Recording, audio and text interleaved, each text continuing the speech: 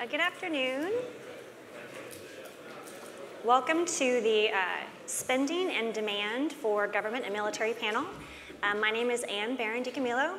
I am the uh, CTO for Strategic Cyber Ventures. Um, is everything all right with can you guys hear me? Okay, just making sure it's not too much reverb or anything. Um, uh, I used to be the director for US CERT. I believe Suzanne and uh, Phyllis briefly mentioned that. I, I missed those remarks, but I'm enjoying my new role. Um, today we're going to speak again about government and military spending and demand. We have a great panel here today. Um, I thought I'd start with some statistics just to kind of get us started. Uh, cybersecurity, uh, well, within the cybersecurity space specifically, um, it's reported there are about 6.5 million uh, internet, or sorry, 6.5 billion internet connected devices. And by 2020, that number is expected to grow to up to 20 billion internet connected devices. Um, you know, inherently, they will have some vulnerabilities associated with the things we heard about on the previous panel, um, all that love that is being connected to the internet, and there's going to be some concerns around that. Um, I think from the government perspective, uh, some of these government institutions are grappling with the complexity of trying to adopt Internet of Things, trying to um, get into the cloud. And so I wanted us to get into uh, the, the complexity associated with this increased growth of devices, associated with um, the traditional bounds of networks and how they're being pushed out as they pursue uh, digital transformation within their organizations. So as you can imagine, um, all of these changes come with a price specifically to cybersecurity. So I think the panel today is going to have a, a great opportunity to talk about some of the cybersecurity prices that organizations, government, military, and others are going to be paying associated with these transitions. Um, so with all that good news, um, I'm excited to moderate this panel. Um, and I thought as part of the introduction, each of the panelists could do is share successful case studies or best practices that you've seen um, within cyber technology products that are in use or adopted uh, within a government and military organization. Um, I thought this would be a great way to give a brief introduction about yourself as well as some you know, best strategies that we can talk about uh, to get us kicked off. So with that, I will turn it over to Greg. Thank you. Good afternoon. I'm Greg Boison, and I lead the Homeland Security and Cybersecurity.gov practice for Lockheed Martin. And thinking through some best practices in the procurement of solutions and products and services, one thing I've found is that there's much more of an emphasis on collaboration in outputs and collaboration on metrics mm-hmm. to get to the right endpoint of some of the government enterprises that are transitioning from perhaps a traditional security operations center approach to a security intelligence center approach.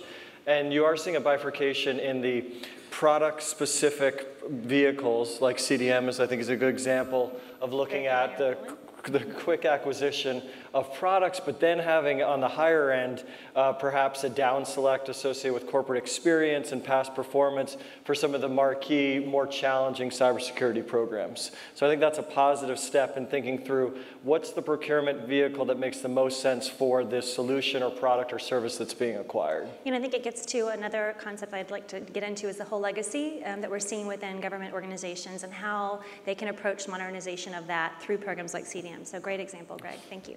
I'm Rob. Good afternoon. I am Rob Knake. I'm a senior fellow at the Council on Foreign Relations, and I was the director for cybersecurity policy at the National Security Council at the White House.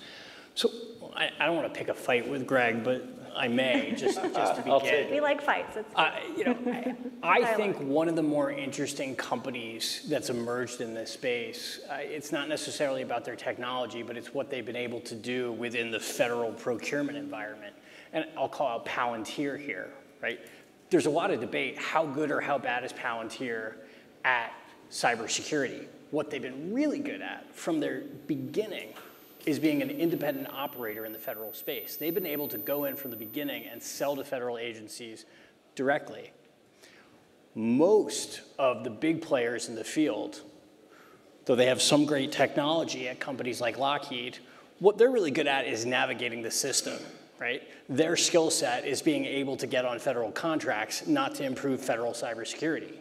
And so right now we have this problem where there's great technology, and a lot of the technology comes out of the government. It comes out of research and development, but it can't get sold to the federal government because small companies simply cannot navigate the wickets that are set up for federal procurement. So I think it's a good discussion to have, and I think those challenges are true, small or large. I mean, I, mm-hmm. I'm constantly, on a you know, daily, weekly basis, engaged on conversation around a good technology that we have to offer and not knowing how to procure it. And the appetite for small uh, pilot programs and the ease of doing that in the government is very, very challenging. And then I think on top of that, you've got labor categories and rate tables that are baked around the wrong criteria, right? It's years of experience, in some cases it's certifications, not necessarily um, the 20 year old that, with the high school education that's going to be the best person in that uh, domain. So I would agree with you, and I think the problems are true for, for large and small. Thank you very much. Um, Mike. Thank you. Thank you very much. Uh, good afternoon. Um, I'm Mike Steed, the founder and uh, managing partner of the Paladin Capital Group. Paladin Capital Group was founded in, in, uh, in 2001. In 2001, we did our first cyber deal. We have done 41 cyber deals since 2001. Um, we have put together um, uh, a group of people to do transactions and deals over the last 14 years, which are second to none. Lots of them come out of the government, come out of the NSA, come out of the kind of the CIA, come out of the, uh, come out of the White House. Uh, we have people of specialized competence that come out of those areas.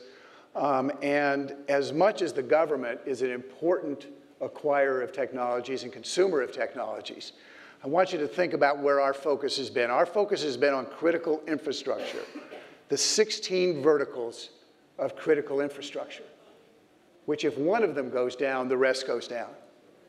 And I want you to think about who owns the critical infrastructure. The government does not own the critical infrastructure.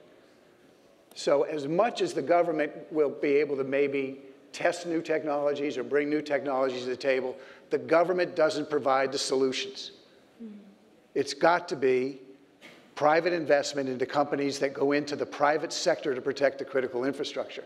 So while the government has defense grade cyber protections, and they do have that, where we look is we look for those transactions that will allow those defense grade types of solutions to then be adopted into the commercial side? Can it be commercialized? Is there ease of use? Is it less costly? What are the things that need to be done? So, so, so yes, you want the government to, to, to prove out some technologies, but at the end of the day, it's got to be the private sector that purchases these technologies, enables them, makes them work, monitors them, and then makes sure that the security is in place to do it. So, so that's where we have looked. That's where, our, that's where our focus has been. Lots of work with the government. We have six, seven people with top security clearances that go into the government to look where the spend is going. Um, offices, Silicon Valley, New York, and in, and, in, and in London, to be able to find those engines of innovation that are going to make a difference in some of the target theses and areas that we are, that we are putting money into. And to what comments I think the gentleman made earlier, you don't need to go to Silicon Valley. The number one investor in cybersecurity startups is in Washington, D.C. So that is a great segue um, into my follow-up question. Um, so product acquisition alignment between the public sector and the private sector. Um, from the perspective of the rest of the panel, I think Mike, you got us started on that. Um, how do you see IT products and acquisition being affected in the development market paths towards um, you know, both the public and private sector? Where do you see those, those alignments? And um, as you see alignments, does it help companies break into the government market? So, so the, we, you know, we work with that. We have a team of value add people that do that, that help uh, uh, work, work through that. Uh, we have a, uh, a sister company called, called Good Harbor uh, that's headed up by Richard Clarke. I think Amelia is here, who's the president of it, um, that does that kind of work for our portfolio companies and, and, and really does a very good job of it. Um, what, uh, you know, the government plays an extraordinarily important role because they'll set some standards but remember, those standards are not standards which are mandatory. Um, you're going to see more and more mandatory standards coming on. And it's not K Street that stopped it, was H Street, which was the, which was the Chamber of Commerce that stopped a lot of the standards being adopted uh, because companies did not, did not want that. They wanted to have some kind of a non mandatory voluntary set of standards. So, so, so as companies begin to take a look at the government, what they're looking for is they're looking to get that good housekeeping stamp of approval. Uh, um, and that is what is driving sales on the commercial side. Yeah, you have that initial customer that's government, it gives you that credibility as a, as a vendor product, is that, yeah? That's right, that's right. If you're, if you're going to go out to a commercial company with a product, It's got to be vetted. if you've got something vetted inside of the government, it's been adopted by the NSA, US Cyber, whoever it might be, Right. Then, then when you go out to talk to the private companies about adopting this, and understand the private companies today have to spend unlimited amounts of money to acquire these technologies. They have to spend that in order to survive. I guess the follow-up question to that, and I definitely want to open it up to the other panelists as well, is that you know, in, uh, getting the your product vetted by a, a customer like a you know, let's say DHS or an FBI is you know a, a gold star, but a lot of uh, small startup companies can't afford this cycle of acquisition and that it takes to get into government. How do you align? Um, where do you see those alignments happening? And, and you know, how do you uh, you know suggest that there's there's an opportunity uh, to get into that market path for small startup companies? For, from my perspective, it's the nature of the product will dictate where you can find that first, you know, customer zero, customer one. Um, there's certain products we've developed, for example, email phishing training or a very lightweight knowledge management system to allow for uh, security analysts to record their information through incident response or through general uh, security operations center work and then codify it and keep it in a, in a lightweight searchable system so that you can keep accessing that. Those technologies have had greater uh, success in the early stages in the commercial industry. Then we've got some advanced sensors where the customer zero, customer one was in the federal sector. So I think the, the key as an investor, as an entrepreneur, is to say, where are you going to learn how to improve your product and how it's really used in the trenches. And that's going to depend on the product to find that first customer.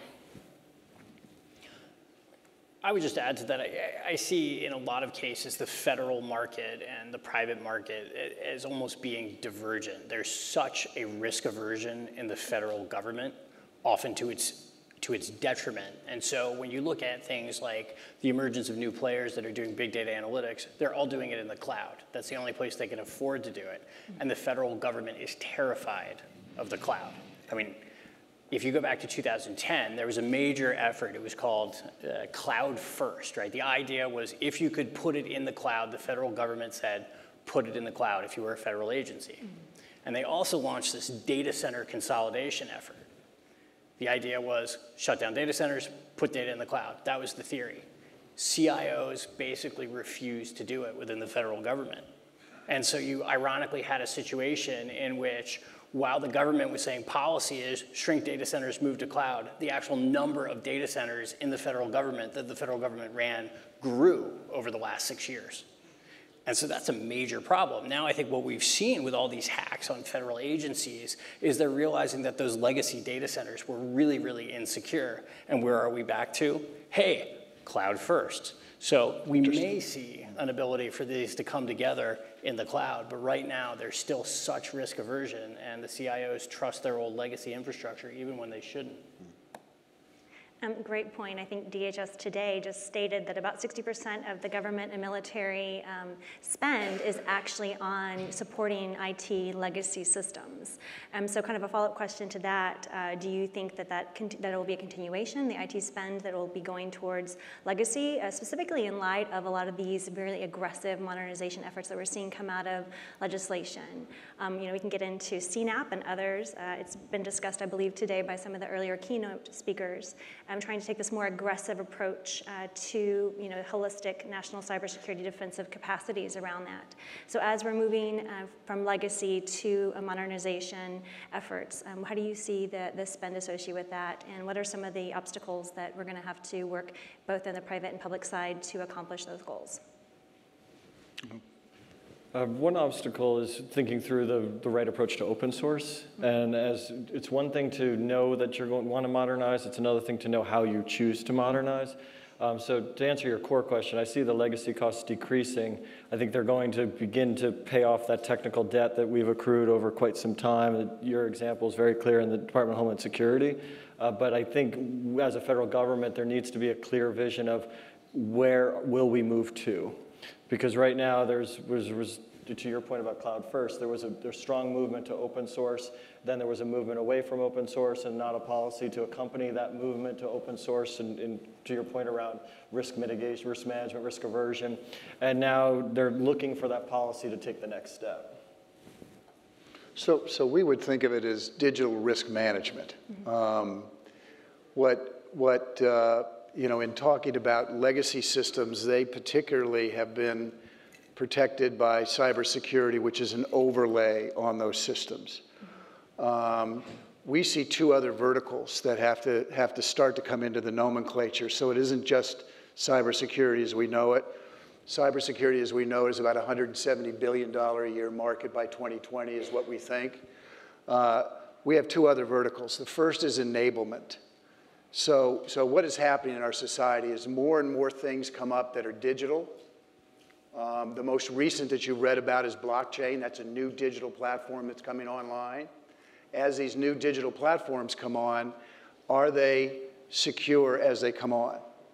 Um, Internet of Things, uh, bring your own device, the cloud, are all being created without security in mind. Now, in the future, we believe, where the, and where some investing will go, the next three to five years, those will have embedded inside of them the security that they need to be protective. Uh, whether it works or not, I don't know yet, but at least that's one area that we're looking at. So as you enable digital platforms, your vulnerabilities increase, and you want to be able to have security. The second area is, is, uh, is monitoring and management. Um, monitoring and management would suggest that before you get to the question of security, you need to do the analysis that says, what are your assets? The second thing you need to do is to figure out where do they sit. I mean, we go in many times and sit down with uh, companies to do some kind of an assessment, and they don't know what their assets are. You get 50 people inside of a company of 1,000 people, and they don't know where they are. Um, they don't even know where they sit, and they're shocked to find out that they sit on a network that 50,000 people have access to. And then finally, what are of, of those assets, where, where is the, the things you really need to protect? And then you get to the question of security. But people don't do that kind of analysis. They need to do that. And then the third area is, is cybersecurity.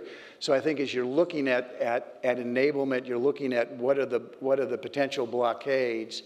I think as you open up your thinking on cyber and not just think of cybersecurity, but think of cyber, you've got to think of enablement, monitoring, and, and uh, management, and then, and, then, and then cybersecurity.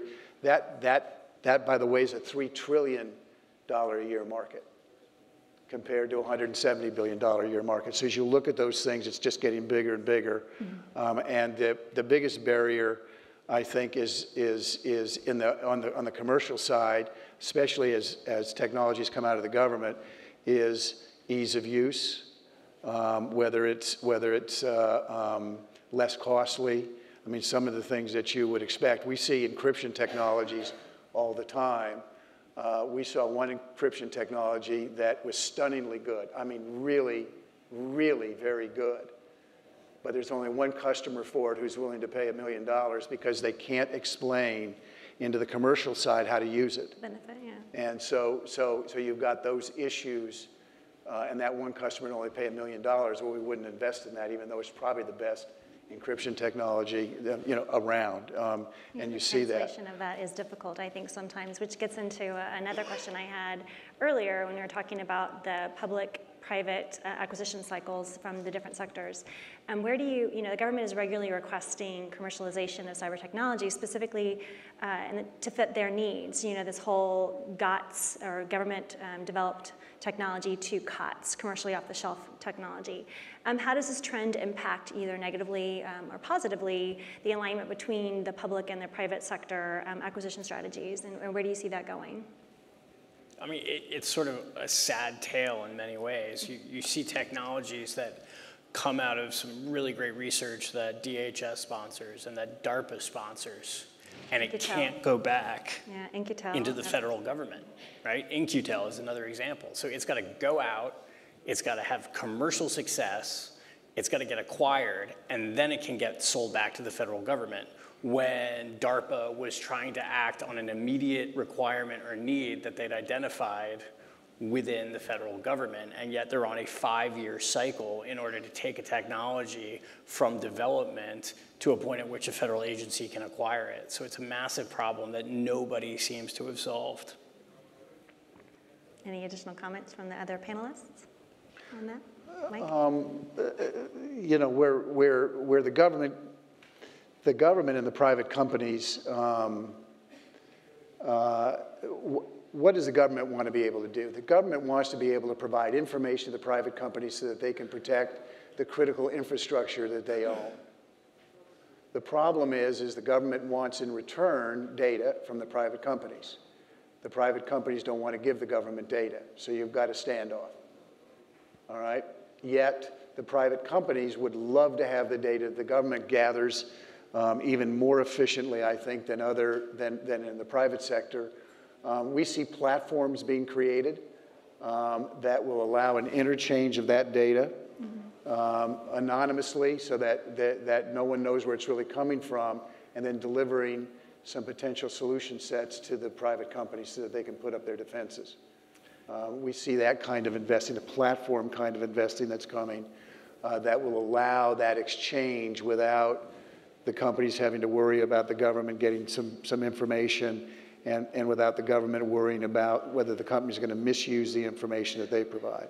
So we see that kind of public-private partnerships Partnership beginning to develop. And that exchange doesn't always need to be two ways. We're a commercial service provider and enhanced cybersecurity services through Department of Homeland. Security. And that's a program where classified indicators are being used to secure critical infrastructure and commercial entities through sanctioned providers. And I think that's an example of not needing, the government not demanding or asking for the commercial input, but pushing out the classified indicators for use. And as a uh, provider of the ECS program, do you see that public-private partnership and how the government's provided that information to Lockheed Martin to then, in turn, sell that capability to your downstream customers? Has that benefited? Has it been a successful program from your perspective? And that the ability to provide that continued growth service downstream, um, you know, not having to have these specific details associated with, you know, where the attribution of that indicator came from, but the, the protection mechanisms, you know, uh, the actionable data per se. Absolutely, and then it, it allows critical infrastructure and commercial entities to then ask for more solutions that are going to help secure their enterprise. And in many ways, it's the tip of the iceberg of thinking about classified data sets that are useful. But as you know, and the jobs you've had, that's one piece of it. And now it's what are you going to do when there's a hit? What are you going to do on are all the the times when there's not a hit, the unknown unknowns, et cetera. What so gets actions are you going to take associated with that alert? Correct. Which is the downturn or the um, upside sale associated with it, or the protectional, uh, additional protection mechanisms that you can provide your entities, protected entities. Correct, and I think that alerting point, Michael was hitting on some concepts earlier around the, the security part. Once you get to the security part after inventory assets, et cetera, and when looking at companies to invest, I think it's key to figure out how is that product being used? A lot of surveys, 90% of tools purchased uh, were quickly discontinued either before deployment or after deployment. And so it's not one, it's not enough to say we're installed in X enterprise. Are they using it? Are they getting alerts for it? Are they getting so many alerts they are ignoring those alerts? Yeah, the noise, can you Correct. ensure that your capability is uh, bringing down the noise and not increasing that volume associated with alerts? Is it actionable data associated with that? Uh, For those of you who aren't familiar with the Enhanced Cybersecurity Program, it is a program that came out of the Defense Industrial Base um, maybe five or six years ago, was transitioned to DHS, and it's an ability for government to provide uh, classified indicators uh, to private industry um, through uh, uh, entities like Lockheed Martin and other ISPs or managed security services that can then um, ensure that that information, the classified aspect of it is protected in a SCIF, but the actionable data is protecting downstream critical infrastructure partners. Without needing clearances or your own facility that can uh, absorb that information. Correct. Well, that's great. Did you have a comment? Sorry, I didn't know if you, okay, sorry. Uh, I thought we'd go back to CNAP. We talked about it just briefly when I was talking about the aggressive measures that we're seeing come out of um, Congress lately and from the White House.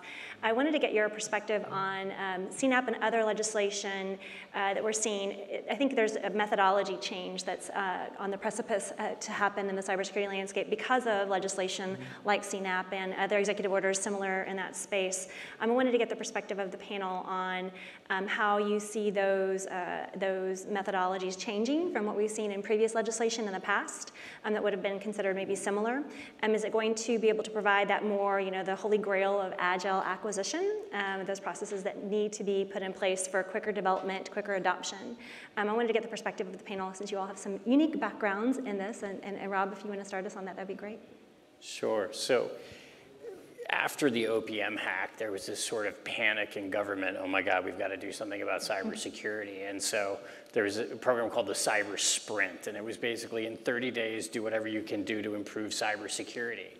And so they focused on cyber hygiene, right? Going around and patching vulnerabilities in known systems. And then essentially, I think people realized, okay, that's great, but we've got adversaries inside our network. There's no point in locking the door after they've come in we've got to get them out. And so in October, you had something that was called the CSIP, the Cybersecurity Implementation Plan. And that was really focused on like, let's find the adversaries inside the network and let's get them out. And then the third evolution, and this all happened in six months, which is pretty impressive mm -hmm. for a federal evolution of policy. They had a very big incentive to do that. was the uh, was okay. the Cyber National Action Plan, which came out I think in January, February, mm -hmm. and it really was premised on the okay, you know, we can patch known vulnerabilities, we can chase the intruders out of our networks, but we're never going to have security until we can move away. Uh, I'm going to steal a line from Phil Venables until we can move away from purchasing security products to purchasing secure IT products. And so the big focus was on IT modernization in the CNAP. It was the idea of needing billions of dollars, 3.1 in this year's budget request, to upgrade legacy IT systems so we had defensible architectures. So I think that actually shows pretty rapid evolution in thinking. The problem is right now, we don't just need the thinking, we actually need Congress to come through with a big pot of money this year. And I think the estimate from the federal CIO was it's really more like a 16 to 20 billion dollar hole over the next five years. So it's really going to be up to Congress whether they're going to open up the purse strings and actually let the next administration effectively implement this strategy. Um, any additional comments from the other panelists on that? I'm sorry? Oh, any additional comments? I think he's, I think he's got the point. I think he's right on it. Yeah, uh, you kind of opened up my last question, but I'll save that. I have one more before we get to that question, uh, Rob. Uh, the, based on recent cyber breaches, kind of getting to things that we've seen from OPM um, to things that have happened in critical infrastructure, um, a lot of the healthcare breaches that we've seen, um, there's this perceived looming rise of, uh, to incredible levels of potential regulation, while at the same time, it seems that there's a bipartisan um, agreement uh, in the House of Representatives as well as Senate uh, that, there, that you know, regulation is not the answer. Um, I wanted to, to get the panelists' perspective on that. What do you think are the options? And um, if there was to be regulation, who, uh, which federal department agency would be the best uh, position to regulate uh, this kind of thing? I'm gonna look at Mike. Go right ahead. Go right ahead. Greg? Go for it. I mean, regulation's the third rail in cybersecurity policy in Washington, and in 2011, the Obama administration stepped on it and put out a uh, regulatory proposal to Congress, which I, I think Mike referenced the fact that the Chamber of Commerce just killed it and killed it dead and claims credit for it. Uh, and so you had this sort of standoff across Lafayette Square Park between the White House and the Chamber of Commerce, and the Chamber won. And since then, we've just been talking about cybersecurity information sharing and finally got a bill on that passed. So I, I think it's something that everybody is afraid to touch. And I, I, think the fundamental problem with regulation, and I think Tom was getting to this point earlier on the last panel, was we don't necessarily know if you were to set regulations, if you could stipulate that market failure exists, what you would require what would those regulations say and what would companies have to do and what's effective? And I think a lot of the independent regulators, particularly in the financial industry, are struggling with that. They may come up with answers that other sectors adopt, but right now I don't think anybody wants to talk about regulation. Yes, I'll- add, as a heads-down practitioner more, yeah, I tend to turn away from regulation and focus on people want to secure their data, people want to keep their jobs. The incidences and the breaches, the, the reaction has been very positive because I think it's gotten people's attention and focus. And uh, commercial entities have to decide, is this an existential threat to my being? So I'm going to invest one way. Is this not necessarily existential, but it's, it, it's a risk that I need to mitigate and manage? Perhaps I need to outsource more of this. We, we don't outs, we outsource uh, physical security guards and our locksmiths and everything else, but yet everyone's building out security operations centers. You're 30 people deep or more. And so you figure out where you are in that continuum and secure yourself appropriately. I think those are just good fundamental business decisions and risk management that exist irrespective of regulation. So, so I think the, uh, um, uh, you- you're going to, you're going to, you're going to see a lot of it uh, not happen in the government. I I don't think they're going to pass it. Um, They're going to try to pass it. They will, when there's a major takedown of a company or take, takedown of a, of a part of critical infrastructure, you'll then see a rush to pass something um, like Dodd-Frank. You remember those days. Um, uh, uh, But where you're going to see the practices really come into fore is on, again, in the commercial companies. Um, They have got to survive. That's the word, survive. We had a, and, and this just kind of shows you kind of what took place. We had a nation state attack the United States of America on its own soil, nearly take down one of its companies. Company is not yet totally up and going. Um, and what was our response? Sanctions. So think about these things. Now, now there were some classified responses, I believe. I'm not cleared, so I don't know about that, but my guess would be there were. Mm-hmm. So it's going to be the private companies that are going to lead the way, I believe, in the kinds of things that have to be put into place, because it is a question of survival. I mean, I mean, if you don't think it is, then you don't. You should just turn around and walk right out of here, because because they, you can be taken down, you can be infiltrated, you can you can you can lose all of your information. Um, I mean, how many of you do mergers and acquisitions? How many of you have um, a cybersecurity due diligence checklist? I can tell you, we've talked to the three largest acquirers of companies in America. Okay, I only know of one that's got it. There's the other two that don't. And they kind of sit there and they kind of look at you and kind of wonder what's going on. Not to mention the fact that after you acquire those companies, you, you end up, you end up uh, with having to spend tens of millions of dollars to try to protect what you've just bought. I mean, it's a, it's a never ending kind of thing. So I think, I, I think the, the leadership is not going to be regulation. I think you're going to see it in some places. Yeah. In some critical areas of infrastructure, you already have it. You also have it, for example, the Department of Defense, um, uh, um, 85%, I think I'm right on this, you know, 80, 80% of the electricity, critical infrastructure that's provided to the Department of Defense is controlled by 15 private companies.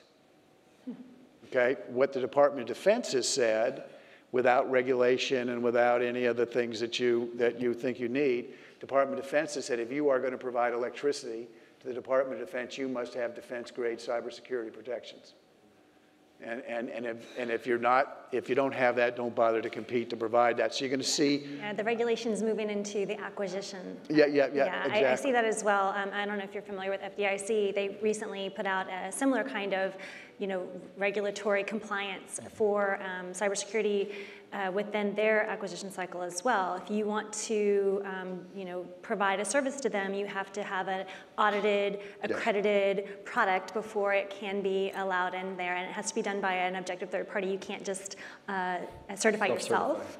And so I think you're going to see continuation of that kind of adoption for product introduction. Um, it won't be regulated from a regulatory body, but it'll be done kind of in a cottage industry type approach, um, where there'll be you know more of these third-party auditor firms, um, blue canopy types that will come out and do that kind of work. I definitely see that as, a, as an evolution because I, I agree with with Rob that there's not a whole lot of um, uh, acceptance uh, for regulation uh, across this administration, uh, which gets me into my next question. So it is 2016, the year of uh, campaigns, the Uber, Uber, Uber campaigns, um, with the two, you know, proposed candidates at this point in time. We'll just look at the two leads.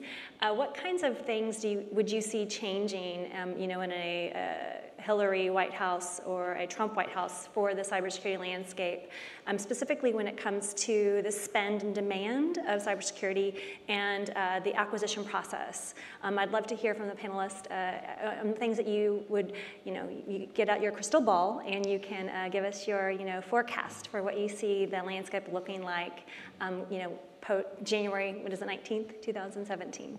So. Well, so I'll give you a complete disclosure here. I'm, uh, uh, I'm a, I'm, I was a former executive director of the Democratic National Committee, so, so that'll tell you kind of where I'm going on this.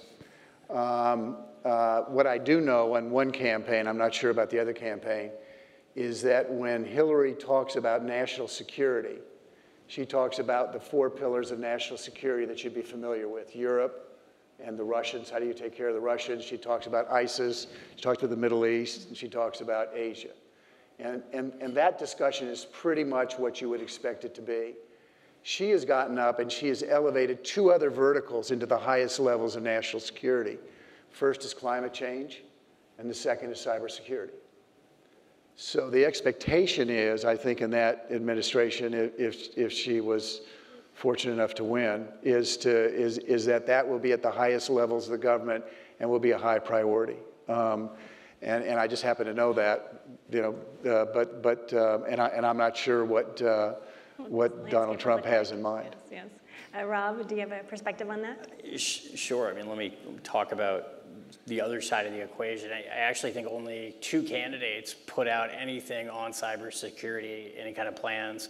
One was Jeb Bush, one was Ben Carson, and I, I can sum them both up as essentially saying, speaking to the bipartisan nature of cyber in Washington right now, keep doing what the Obama administration did, and then they just added in snipes about Hillary's email server, and that was their whole plan. I don't know if that's a good or a bad thing, but it at least speaks to a lack of new ideas and new direction coming out of the political process on cybersecurity. I don't know if we're surprised by that. Yeah, I think it's a, the last held out for a bipartisan issue, but yes, Greg, did you have any specific? Uh, I just agree that whether you're negotiating trade deals, whether you're protecting and growing American GDP, we, we all live this all day long. It touches every single facet, even SF-86s, you know, an OPM, and I mean, you pick it. Very it, familiar with those. Right. It certainly matters on all facets, and so I see it as bipartisan also. Okay. And no significant changes come January of 2017. That's great. Um, so with that, I will open it up to questions on the floor. I see um, um, the uh, lady on the left. Uh, this question is about uh, the commercialization of government-funded R&D. Uh, I've learned over the years that the DoD sort of uh, liberally slaps ITAR restrictions on uh, technology that they're funding. And this has, a, creates a real barrier to a, a small business, for example, uh, commercializing the results. Uh, does a group like Paladin or other um, uh, organizations that invest in these technologies, do you assist in lifting ITAR restrictions if the technology looks like it's very promising? Yes. So, so you've raised a couple of issues. Um, from an investment standpoint, what, what the young lady has spoken to is the government is spending billions and billions of dollars in, in, uh, in cybersecurity research and development. We track that um, into the national labs. We track that into the, into the universities. Um, and if we take a technology out of there, think of the money that the government spends as non-dilutive financing. Now, who, do, who wouldn't want non-dilutive financing in their company?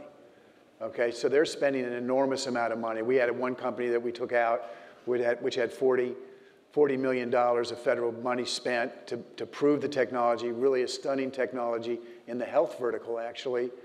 Um, and um, uh, in, in the normal course of things, your pre-money would have been 50, 60 million dollars. We got that for 2 million pre. So that's a good place to hunt for transactions and deals. The second question is yes. When we start to look at the technologies, we take a look at uh, ITAR, we take a look at a whole series of government issues around it. One of the things that we become concerned about is if the, if, you know, will the government grab it, take it into the black world, and you never see it again? I mean, that's, a, that's an issue in some, in, in, in some places. Sometimes the government will take it and enter into a joint research and development piece, which is very helpful. Um, we, we have created companies to help the, our portfolio companies find markets globally. So we look at this up front um, and help companies avoid that problem or work through it. Yet you have to because cyber is global. And so the solutions have to be adopted globally. And, and that's one of the reasons why we established an office in London is be able to, to be able to do that, take, take our technologies into Europe and into, uh, and into the MENA region as well. Did that answer your question? Yeah. Okay, um, gentleman here in the front. Yeah, quick one. Uh, do you envision uh, that our government will allow the private sector, uh, through authorization, of course, to attack back these hostile networks and servers Good one for you. I, I mean, in the not near only. future as well as uh, the far outlook? Yeah, do you No, not only no, but hell no. I mean, Yeah. I, I would say that if you look at the position that the Department of Defense has taken, and they've said this is what we do, and we only do it under a presidential authorization. I can't imagine a circumstance under which we shift to a position when anybody can do that without that level of scrutiny, right? We don't want private companies starting wars for the United States. That's in nobody's interest. Right, and I think you have to look at the proportionality associated with the activities. So if you look at the financial institution DDoS activities that occurred in 2013, there were a lot of banks that were specifically asking DHS, FBI, NSA to hack back. What happens when you hack back is you're no longer having a proportional uh, response associated with that. Um, you are, you know, essentially, um, you know, breaking into, if it was a physical location, a physical, you know, a network, uh, a network which could be the equivalent of a physical location. Um, and then there's the aspect of, you know, they could do something even more retaliatory associated with maybe um, unknown implants that they have across different networks. I mean, you know, the Sony example is, is a perfect example of how that can escalate um, to something very destructive. So the U.S. government's response from when I was there, and, and Rob as well, is um, yes, exactly that. Uh, no, it's not a, and, and actually FBI specifically said as law enforcement, we will come after you if you were to do that, because now you've just made yourself the bad guy.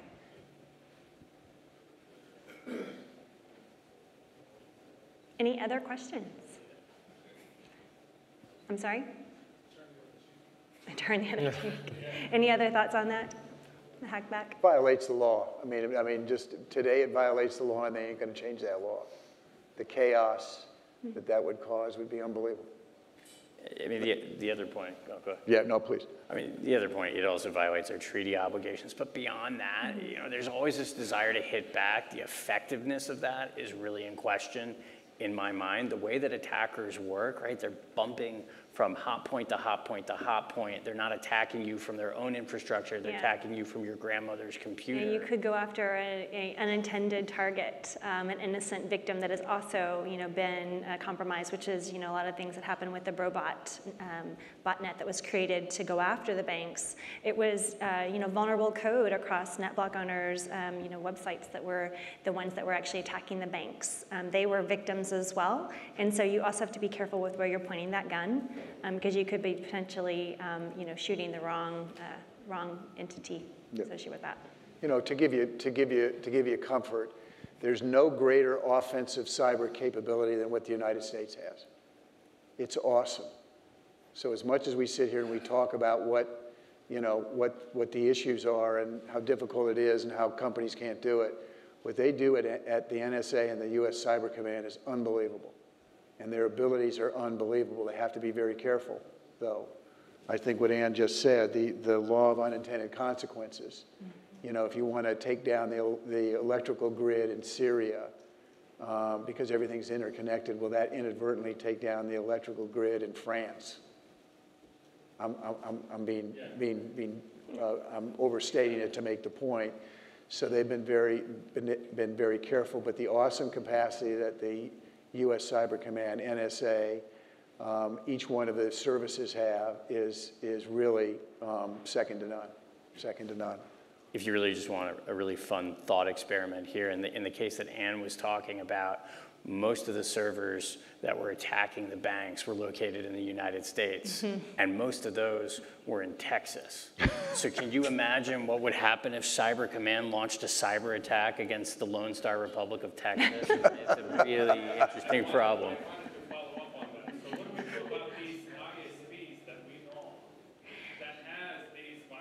The ability, yeah, that. So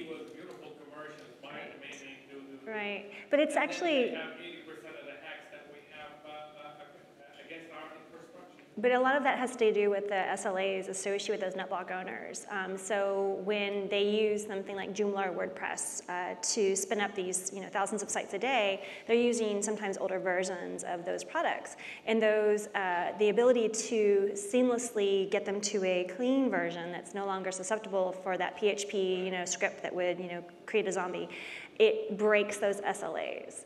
And so, you know, it wasn't really in the best interest uh, for them to fix that because it wasn't impacting their business. So I know law enforcement and uh, government had a lot of discussions with the ISPs to try to make that, you know, part of their a business case for them. And then we even went to, you know, work with Joomla, work with WordPress. How can you create a a scalable, seamless uh, migration from one vulnerable version to a non-vulnerable version without breaking the underlying infrastructure associated with that. I think Heartbleed had a lot to do with changing how we look at upgrading our infrastructure so that it is done in such a way that you're considering the third parties associated with that, um, which gets into you know the whole idea of looking at not just my stack, but all the third parties associated with that and the, the potential vulnerabilities that they're introducing into my services. They've asked us in the back to wrap it up. Sorry. So wi- with that, uh, we will, uh, any additional comments? Or, thank you so much, guys. I really appreciated this panel uh, and the discussion, and hope you guys enjoyed it as well.